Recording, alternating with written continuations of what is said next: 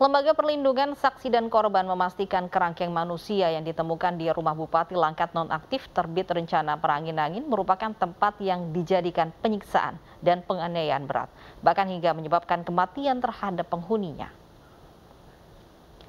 Dari hasil investigasi LPSK menemukan jumlah data fakta, termasuk tujuh dugaan tindak pidana yang dilakukan terbit dan pelaku lain. Di antaranya ditemukan telah terjadi perbudakan manusia serta adanya penyiksaan dan penganiayaan terhadap penghuni kerangkeng. Sehingga banyak korban yang menderita cacat, gangguan jiwa, bahkan meninggal dunia.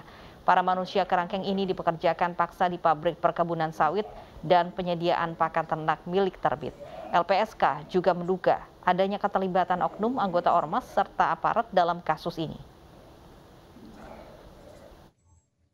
Keuntungan utama dari keberadaan kerangkeng ini buat PRT adalah mendapatkan pekerja gratis. Pekerja gratis. Dan setelah masuk, mereka itu mengalami kekerasan, ya, di hari pertama tadi sudah disebutkan, bahkan diancam, diancam akan dibunuh bila tidak menuruti aturan negara ya para korban tidak lagi memiliki kebebasan sejak pertama sejak hari pertama dalam